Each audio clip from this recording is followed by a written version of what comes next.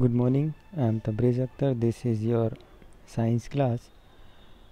Today we are going to start chapter number 2 Microorganisms Friend and Foe. but before starting, let's recall chapter number 1.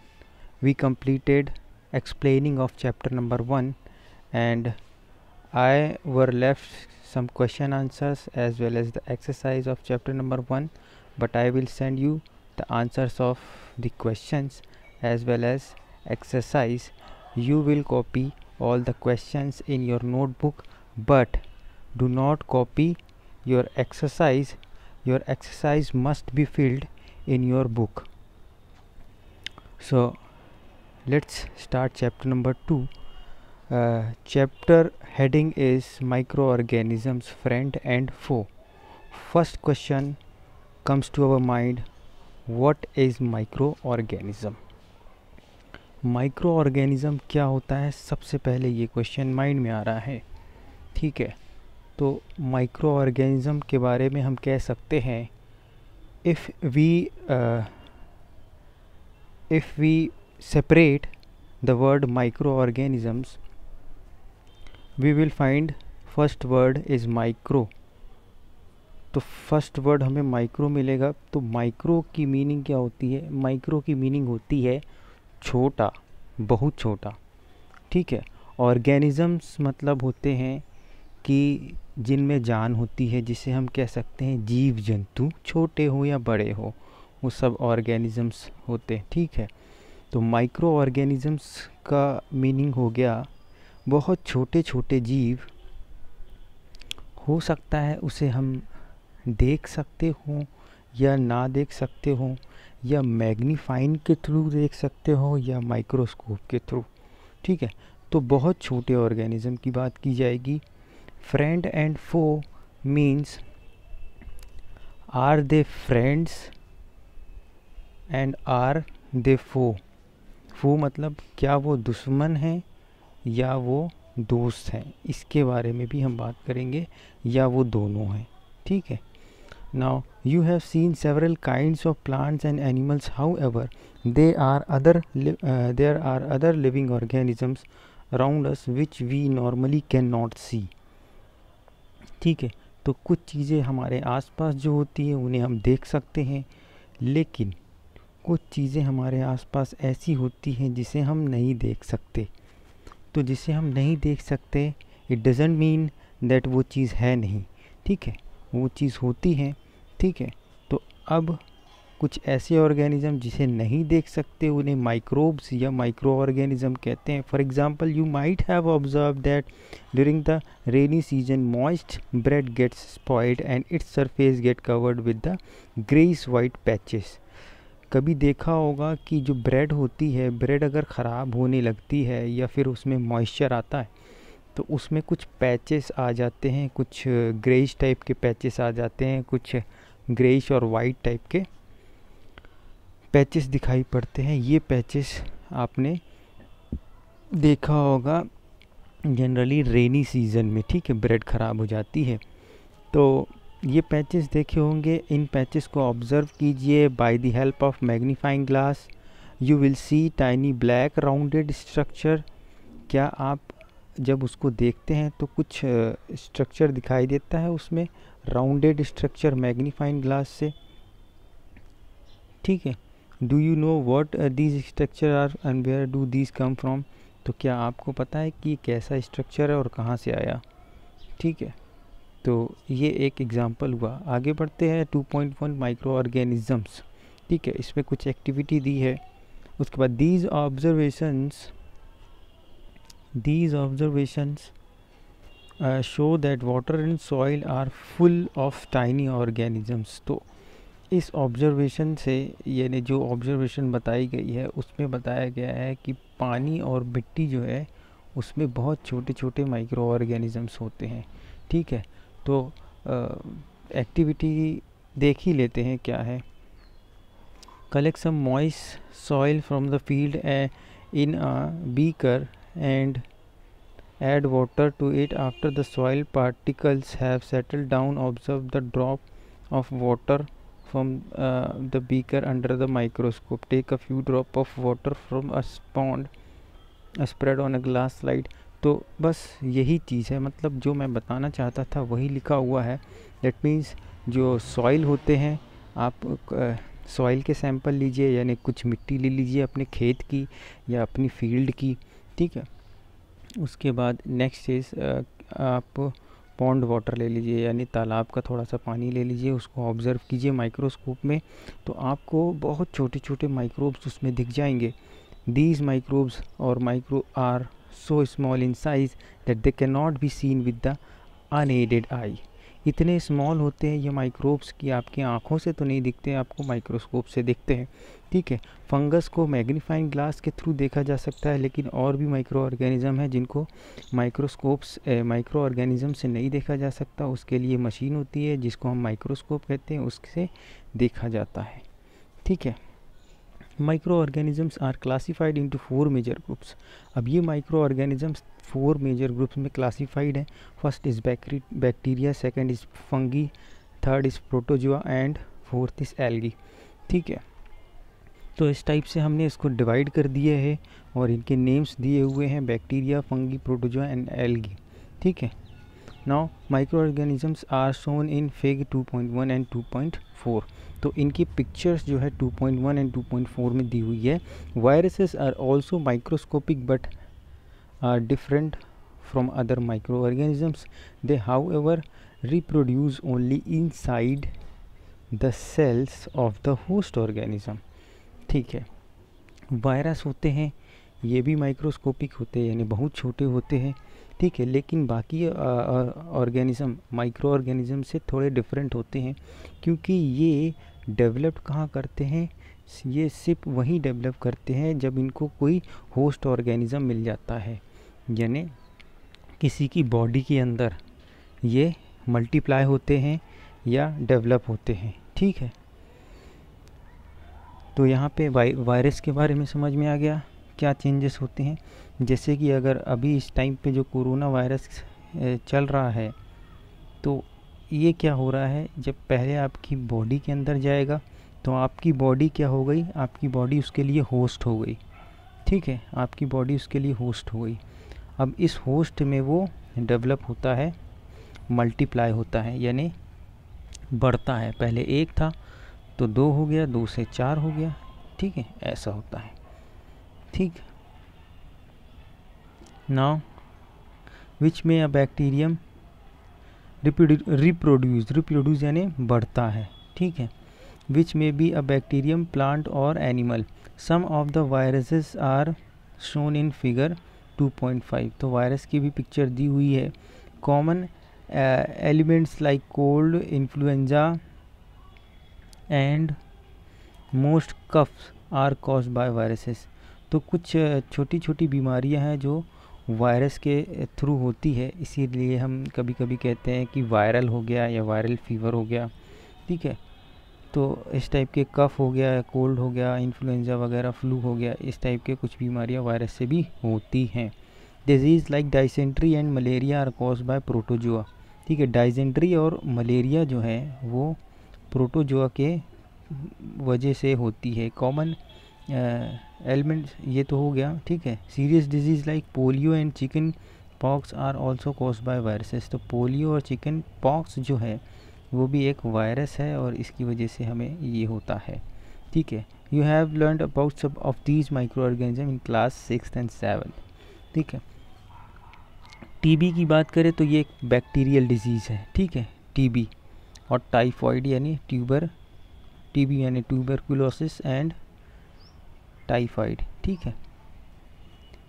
तो अब next picture है जो वो सिर्फ़ diagram है, इसमें first diagram is of bacteria 2.1 तो बैक्टीरिया को माइक्रोस्कोप से देखा जाएगा तो कुछ इस टाइप का उसका स्ट्रक्चर होता है, ठीक है? उसके बाद यहाँ पे एलगी है तो एलगी में दो स्ट्रक्चर दिखाए गए हैं, एक ये वाला और एक ये वाला।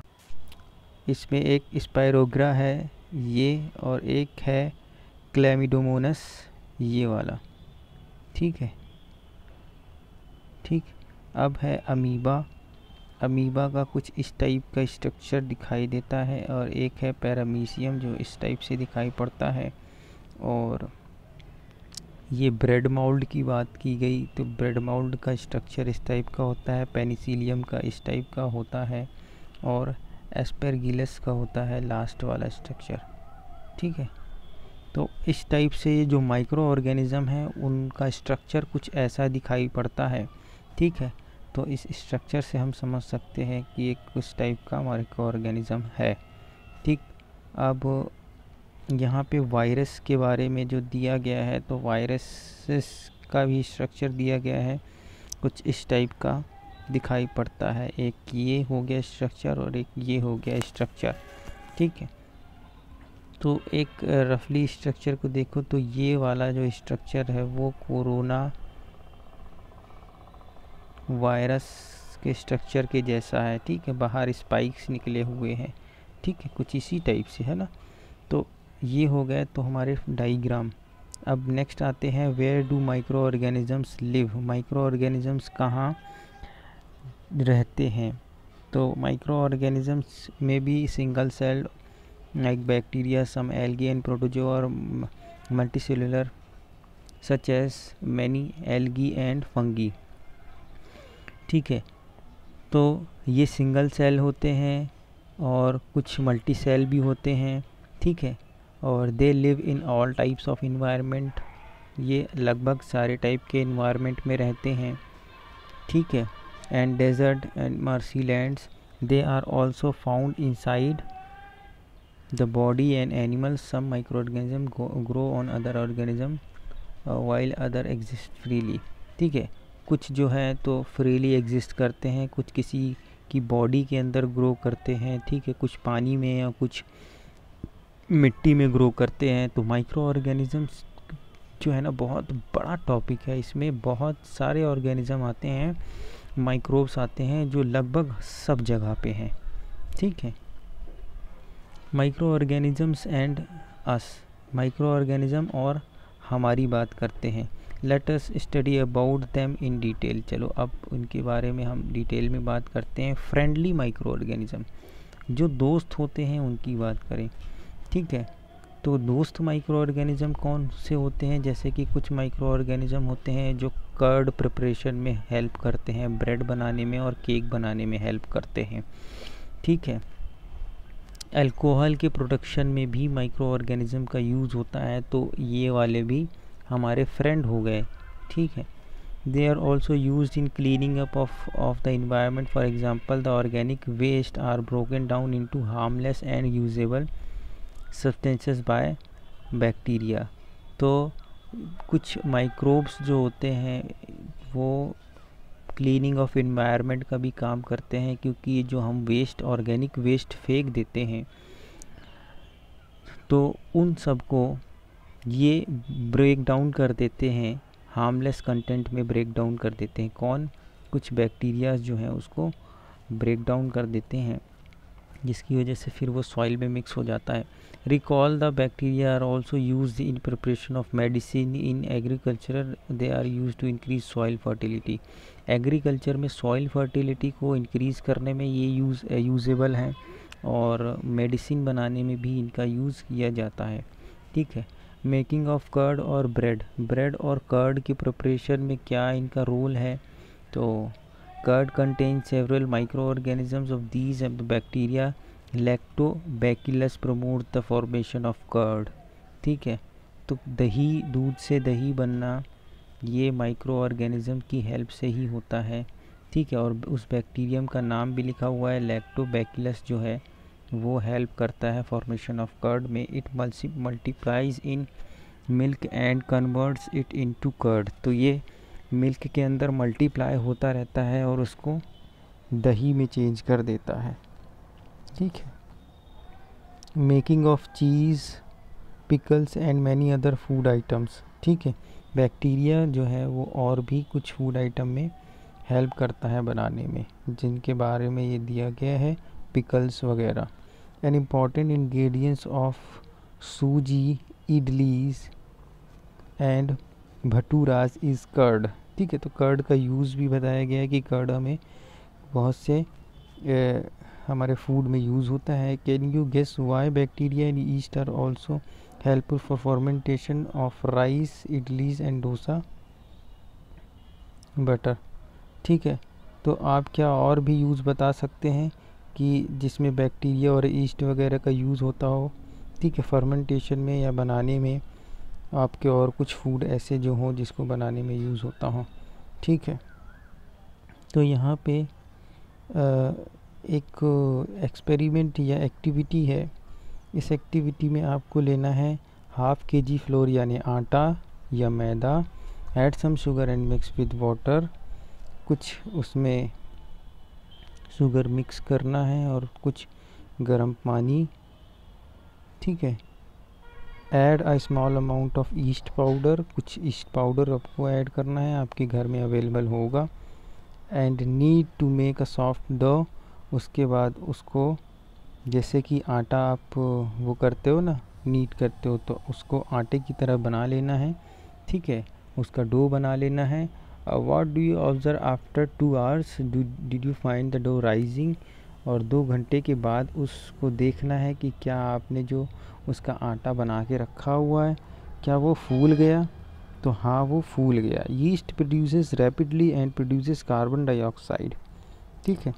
रीड ईस्ट जो है रिप्रोड्यूसेस रैपिडली ईस्ट बहुत जल्दी रिप्रोड्यूस करता है, यानी डबल होता है, यानी एक से दो दो से चार होने लगता है। रिप्रोड्यूस करना, यानी एक से और दूसरे बन जाना, फिर उससे और बन जाना। ठीक है?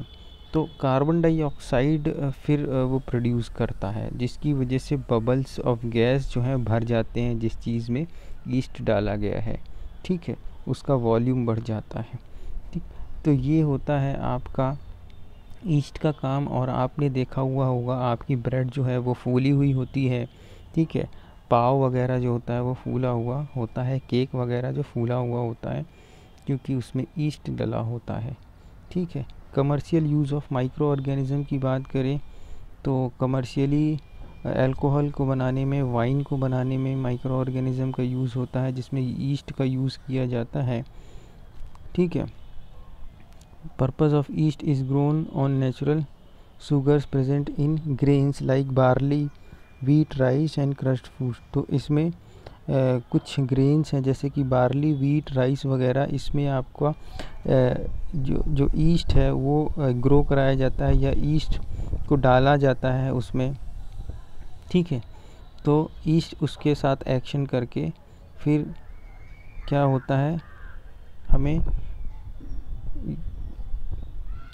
अल्कोहल मिलती है। This is the smell of alcohol as sugar has been converted into alcohol by yeast तो इस तरीके से जो शुगर प्रेजेंट होती है हमारे ग्रेन्स में, जैसे कि आपका बार्ली हो गया, और राइस वगैरह हो गया, ठीक है वीट वगैरह होगा, इसमें जब माइक्रो ऑर्गेनिज़म जैसे ईस्ट जो है एक्ट करता है तो क्या होता है? अल्कोहल में कन्वर्ट कर देता है, जिसकी वजह से अल्कोहल टाइप की स्मेल आपको समझ में आने लगती है। फिर उसके बाद this process of conversion of sugar into alcohol is known as fermentation तो इसी प्रोसेस को जिसमें शुगर जो है, वो अल्कोहल में कन्वर्ट होती है, यही प्रोसेस फर्मेंटेशन कहलाती है। मेडिसिनल यूज़ की बात करें मेडिसिनल यूज़ की बात करें अगर तो एंटीबायोटिक टैबलेट्स बनाई जाती हैं कैप्सूल और इंजेक्शन वगैरह भी बनाए जाते हैं। एज ऑफ़ पेनिसिलिन तो पेनिसिलिन का यूज़ किया जाता है। The source of these medicine is micro organisms तो इन मेडिसिन का सोर्स जो है वो माइक्रो ऑर्गेनिज़म ही है, यानी माइक्रोब्स ही हैं। दीज मेडिसिन किल और stop the growth of disease causing microorganism तो जो हमारी बॉडी में कोई ऐसी माइक्रो ऑर्गेनिज़म या माइक्रोब्स आ जाते हैं जो हमारे बॉडी को बीमार करते हैं, ठीक है तो इन माइक्रो ऑर्गेनिज़म को किल करने के लिए या रोकने के लिए ये एंटीबायोटिक वगैरह का यूज़ किया जाता है इंजेक्शन वगैरह का यूज़ किया जाता है, ठीक है? तो ये भी एक तरह के माइक्रो ऑर्गेनिज़म होते हैं जो दूसरे टाइप के माइक्रो ऑर्गेनिज़म को, जो कि डिज़ीज़ कॉजिंग माइक्रो ऑर्गेनिज़म उनको मार देते हैं या रोक लेते हैं, ठीक है? Such medicine are called antibiotics तो इस टाइप की मेडिसिन एंटीबायोटिक्स कहलाती हैं. These days the number of antibiotics are being produce from bacteria and fungi और इस टाइम पे बहुत सारी बैक्टीरिया और फंगी के थ्रू एंटीबायोटिक्स बनाई जा रही हैं। कुछ एंटीबायोटिक्स के नेम भी दिए हुए हैं। यहाँ पे streptomycin, tetracycline and erythromycin are some of the example of of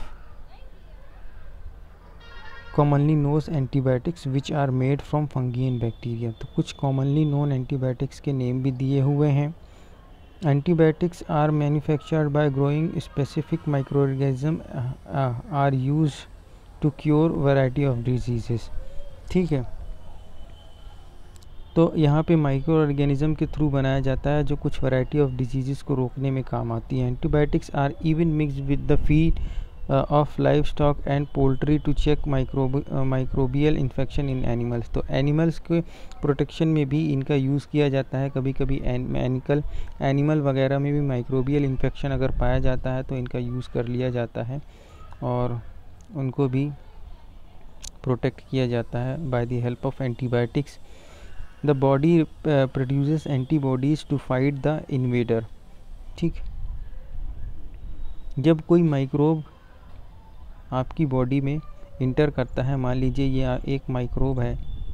आपकी बॉडी के अंदर चला गया। ठीक है? आपकी बॉडी के अंदर चला गया यहाँ से। ठीक है? तो क्या होता है? आपके बॉडी के अंदर का सिस्टम यानी आपके बॉडी के अंदर रेड अलर्ट चालू हो जाता है। यानी आपकी बॉडी के अंदर कुछ सिस्टम्स जो होते हैं, उनको ये पता चल जाता है कि कोई बाहर से घुसपैठिया आ गया है। तो जैसे ही उनको पता चलता है तो बॉडी क्या करती है? एंटीबॉडीज़ प्रोड्यूस करती है। क्या प्रोड्यूस करती है? एंटीबॉडीज़। तो बॉडी हमारी अंदर का सिस्टम जो है एंटीबॉडीज़ प्रोड्यूस करने लगता है। टू फाइट द इन्वेडर जो बाहर से आया हुआ है आपका हम्म, कोई माइक्रोब है उससे फाइट करने के लिए एंटीबॉडीज़ प्रोड्यूस होने लगती है। The body also remembers remembers if the sorry कहाँ गया?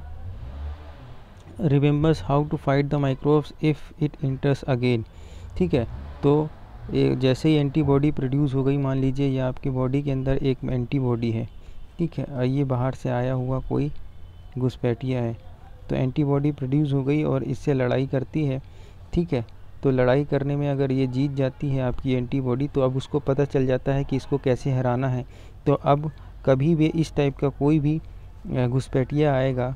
फॉर एग्ज़ाम्पल कि अगर जैसे कि कोरोना है, वो अगर आ गया तो आपकी बॉडी एंटीबॉडी प्रोड्यूस करती है। एंटीबॉडी प्रोड्यूस करती है और एंटीबॉडी जब लड़ती है और कोरोना से अगर जीत जाती है तो अब आपके अंदर के शरीर को ये पता चल गया कि कोरोना से कैसे लड़ना है। उसको दो मुक्के मारना है तभी वो मर जाएगा। तीन मुक्के से नहीं मरेगा, एक मुक्के से नहीं मरेगा, लात से नहीं मरेगा। दो मुक्के से ही मरेगा। तो जब उसको पता चल गया कि दो मुक्के से ही मरेगा तो अब कभी भी कोरोना अंदर आएगा तो उसे दो मुक्का ही मारेगी और कुछ नहीं मारेगी। तो इससे उसको पता चल जाता है। ठीक है? तो इस तरीके से एंटीबॉडी काम करता है। The body fights and kills the invading bacteria by producing suitable antibodies. The antibodies remain in the body and we are protected from disease causing microbes forever इस तरीके से एंटीबॉडी जो बन जाती है वो हमारे शरीर में हमेशा के लिए रहती है। कभी कभी कुछ एंटीबॉडी हमेशा के लिए रहती है कभी कभी उसमें कुछ वीकनेस आ जाती है। This is how a vaccine works तो इस तरीके से वैक्सीन वर्क करती है। वैक्सीन का भी इसी तरीके से कुछ काम होता है। आपकी एंटीबॉडीज़ को हेल्प करती है लड़ाई करने में। ठीक है डिज़ीज़ कॉजिंग माइक्रोब से। तो यहाँ पर मैंने वैक्सीन का रोल कौर बता दिया। और अब इसके बाद नेक्स्ट क्लास में increasing soil fertility soil fertility के बारे में बता देंगे। चलिए थोड़ा सा और पढ़ लेते हैं। यहाँ तक थोड़ा चैप्टर में देखते हैं। In your childhood you must have been given injection to protect तो यहाँ पे इंजेक्शन वगैरह की बात की जा रही है। पोलियो के इंजेक्शन की बात की जा रही है। वैक्सीन की बात की जा रही है। अभी जो इस टाइम पे वैक्सीनेशन हो रहा है, इसकी बात की जा रही है। एक्चुअली में वैक्सीन का रोल कॉल मैंने बता दिया। तो यहाँ पर कोरोना वायरस की वैक्सीन जो है, वो क्या काम करती है? कोरोना वायरस की दो वैक्सीन है। एक कोविशील्ड है और कोवैक्सीन है। यहाँ पे हमारे इंडिया में। तो इसका काम क्या है कि ये जब बॉडी के अंदर जाती हैं तो आपके शरीर में जो एंटीबॉडी है, आपके शरीर में जो एंटीबॉडी है, उसको ये हेल्प करती है कि जो कोरोना वायरस है, उससे कैसे लड़ना है। क्योंकि ये एक तरह से कोरोना वायरस के डेड पार्टिकल से ही बनाया गया है तो उससे ये होता है कि इसको ये पता है कि कोरोना वायरस के जो डेड पार्टिकल हैं, उसके अंदर किस टाइप की कोडिंग है तो उसकी कोडिंग जो है, वो आपके शरीर के अंदर पहुँचा देती है कि इसकी कोडिंग ये है और इससे लड़ना कुछ इस टाइप से है, तब जाके आप जीत पाओगे। ठीक है? तो वैक्सीन आपके शरीर के अंदर की एंटीबॉडी को पूरा मैसेज पहुँचा देती है कि इस तरीके का वायरस है और इससे लड़ने का तरीका ये है। तो इस तरीके से आप प्रोटेक्ट रहते हो कोरोना वायरस तो इस टाइप से हमने वैक्सीन का काम बता दिया। The world wide campaign against smallpox has finally led to the eradication eradication uh, from most parts of the world these days vaccine are made on a large scale from microorganism to protect human and other animals from several diseases तो इस तरीके से small pox का भी बार बताया गया है कि एक कैंपेन चला था जिसमें स्मॉल पॉक्स को दूर करने के लिए वैक्सीनेशन हो रहा था या दवाई लगाई जा रही थी ठीक है या इंजेक्शन उसका लगाया जा रहा था इसी तरीके से पोलियो की बात करते हैं कि बच्चों में लगाया जाता है हर साल लगाया ही जाता है। तो अभी इस टाइम पे जो वैक्सीनेशन प्रोसेस है, वो हम उसकी इसीलिए प्रेजेंट वाले वैक्सीनेशन की बात कर रहे हैं क्योंकि कोरोना वायरस का वैक्सीनेशन इस टाइम पे बहुत ज़्यादा ज़रूरी है, जो वर्ल्ड वाइड चल रहा है। ठीक है? तो अब हम आते हैं इंक्रीजिंग द सॉइल फर्टिलिटी वो हम नेक्स्ट क्लास में कर लेंगे। चलें। Thank you